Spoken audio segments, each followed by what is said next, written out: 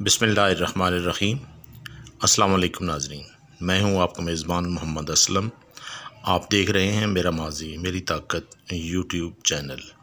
ناظرین، آج چھ مئی ہے، دن ہے سوموار کا، سال ہے دو ہزار چوبیس۔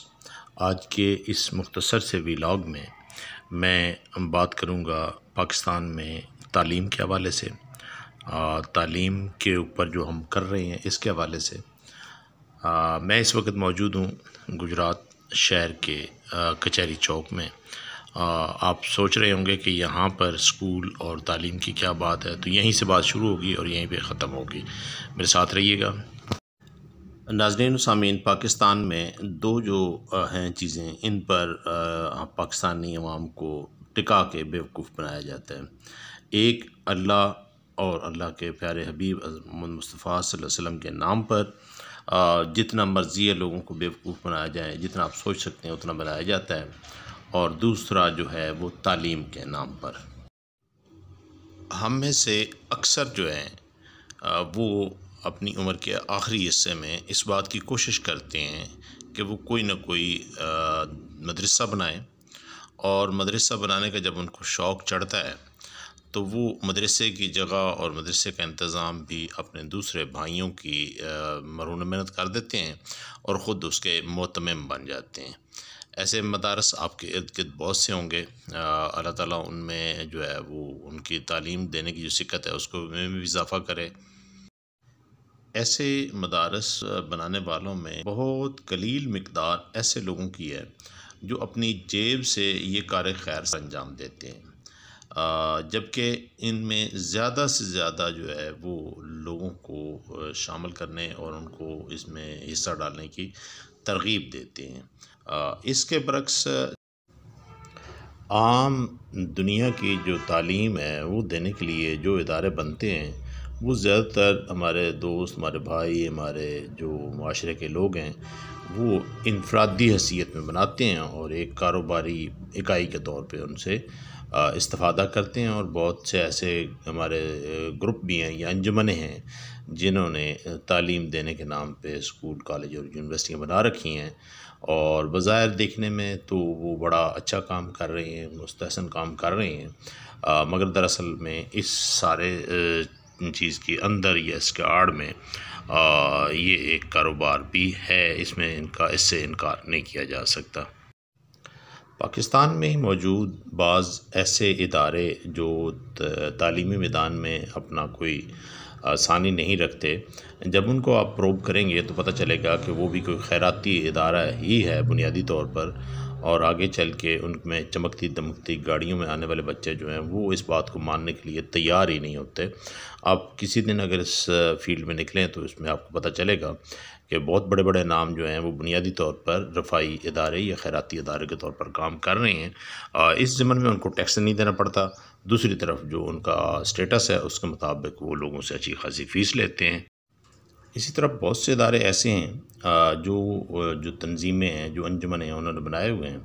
اور ان کے چلانے کے لیے ان کے جو اخراجات ہوتے ہیں، وہ بیرون ممالک سے مختلف مد میں وہ جو عطیات ہوتے ہیں، ان کی شکل میں لے کے چلانے کا ان کو بتاتے ہیں۔ خیر، یہ جو چیز ہے، یہ آپ اس میں آپ کے علم سے باہر ہے، آپ اس بات کو شاید تسلیم کریں نہ کریں۔ ایک اور چیز جو چل رہی ہے پاکستان کو برا بلا کہنے کے لیے، پاکستان کو بدنام کرنے کے لیے، وہ آئے دن ہم سنتے ہیں کہ جی ہمارے اتنے بچے اسکولوں سے باہر ہیں۔ اب اس جدید دور میں، مان لیا بہت سے والدین ایسے ہیں جو اپنے بچوں کو نہیں پڑھاتے، پڑھانے کا سوچ بھی نہیں سکتے، اس کی بنیادی وجہ یہ ان کی غربت ہے۔ اس کی وجہ جہالت اپنی جگہ پہ، لیکن غربت سب سے بڑی جو ہے وہ ان کے سامنے ہے۔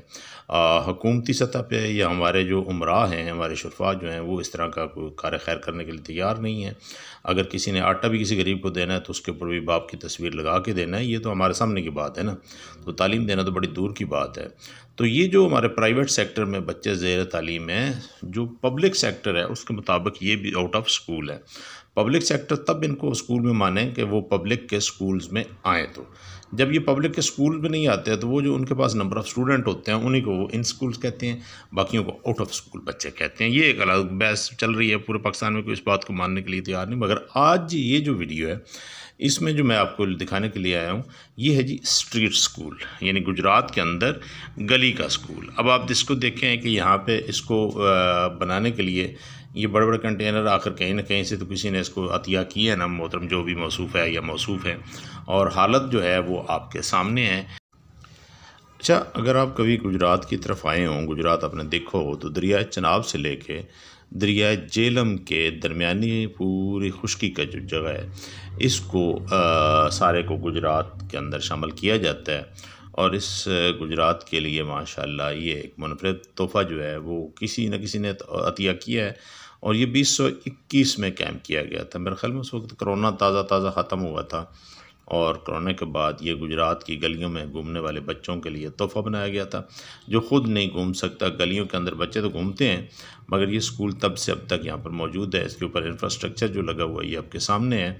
اور یہ جو صورتحال ہے، یہ میں ابھی کہتا کچھ نہیں ہوں کیونکہ یہ وہ موصوف جنہوں نے بنایا ہوا ہے، وہ انہوں نے ضرور کسی نہ کسی کے پانجے بتیجے اور کئی کسی کے کزن ہوں گے، عزیز ہوں گے، تو انہوں نے باہر سے کوئی نہ کوئی پیسہ لے کے تو یہاں پر بنا دیا۔ گجرات کی جو گلیوں کے رہنے والے ہیں، ان کو پتہ ہونا چاہیے کہ ان کے پاس ایک گلی کا سکول بھی ہے، جو کہ ہے اکلوتا، جو کہ گجرات کے کچہری چوک میں پڑا ہے۔ اب یہ بیچارہ جس دن چلے گا، اس دن تعلیم عام کرے گا۔ چلنے سے مراد یہ ہے کہ اپنے قدموں پہ چلے گا۔ چلنے سے مراد یہ نہیں کہ اس کا دروازہ کھلے گا تو یہ چلے گا۔ دروازہ تو پتہ نہیں کیسے کھلے گا، کیسے نہیں کھلے گا۔ اور ماشاءاللہ جی یہ سینٹرلی ایئر کنڈیشن ہے۔ اس کے کیمرے شیمرے بھی نظر آ رہے ہیں، یہاں پر لگے ہوئے۔ نہیں ہے تو کوئی ایک اس کے اندر میرے خیال میں کوئی ذمہ دار نہیں ہے، کوئی وارث نہیں ہے۔ اور مزے کی بات یہ ہے کہ جو اس کے اوپر پلیٹ لگی ہوئی ہے، اس پلیٹ کے اوپر لکھا ہوا ہے کہ جو اس وقت کے جو بادشاہ سلامت محترم جناب ڈپٹی کمشنر صاحب تھے انہوں نے اس کا افتتاح کیا تھا۔ اب محکمہ ایجوکیشن جو ہے گجرات کا، اس کے ریکارڈ میں یہ بالکل بھی نہیں ہے، نہ ان کا اس کے ساتھ کوئی کنسرن ہے، نہ تعلق ہے، نہ کوئی واسطہ ہے۔ یہ جگہ ہے اور سرکاری چوک کے اندر ہے، سرکاری جگہ پر یہ تین کنٹینر رکھے ہوئے ہیں۔ اور ان تین کنٹینرز نے جو جگہ گھیری ہوئی ہے، اس سے جناب وہ جو کہ وہ ہوتا ہے نا کہ کسی کی کل خانی وہ حلوائی کی دکان پر تو یہ نظام ہے جی پاکستان میں ایجوکیشن دی جا رہی ہے، گلی کے بچے جہاں جہاں پر بھی ہیں۔ اور مجھے تو پہلے یہ نہیں پتا کہ گجرات کی گلیاں کتنی ہوں گی، لیکن ان ساری گلیوں کے اندر یہ اسکول نہیں جا پاتا۔ ان میں سے بچے یہاں پر نہیں آ پاتے کیونکہ انہوں نے بڑا ایک پالتو کتا آگے باندھا ہوا ہے۔ اب اس کتے کے ہوتے ہوئے کوئی بچہ تو اب اسکول کے اندر آنے سے رہا۔ اور خود موصوف جو ہیں وہ پتنی اب کے سال میں ہوں گے، کیونکہ سال دو ہزار اکیس کا یہ ہے۔ اور دو ہزار اکیس میں تو پھر ظاہر بات ہے سیاسی طور پہ حکومت بھی کچھ اور تھی اور آج کے دور میں تو پھر حکومت بھی کچھ اور ہے۔ مستقبل میں کبھی کہ اس کو اچھا وقت آیا تو ہو سکتا ہے دوبارہ آ کر اس کو آباد کرے، اس کو کھولے مٹی شٹی اس کی جھاڑے اور اس کے اندر کسی طرف سے کوئی ٹیچر، ویچر کو بچہ چلائے یا حکومت مہربان ہو تو حکومتی سرپرستی کے ساتھ وہ اس کو پھر آباد کرے۔ آپ نے اگر چینل نہیں سبسکرائب کیا تو آپ اس گزارش کیا کہ آپ چینل کو سبسکرائب کر لیں، ویڈیو کو دوستوں سے شیئر کریں، ویڈیو کو لائک کریں، کمنٹس ضرور دیں کہ یہ گلی کا سکول جو ہے اس حالت میں یہ جو آپ کو نظر آ رہی ہے، اس حالت میں کس طرح تعلیم جو ہے وہ عام کر سکتا ہے، کر رہا ہے۔ اور جب حکومتی سرپرستی میں اس قسم کے ادارے سرکاری جگہ پر بن جاتے ہیں تو پھر ان کو بنانے والے اور چلانے والے جو ہیں وہ بعد میں بھی ان کی خیر خبر لیا کریں۔ یہ پرایا مال تو لگ ہی گیا ہے۔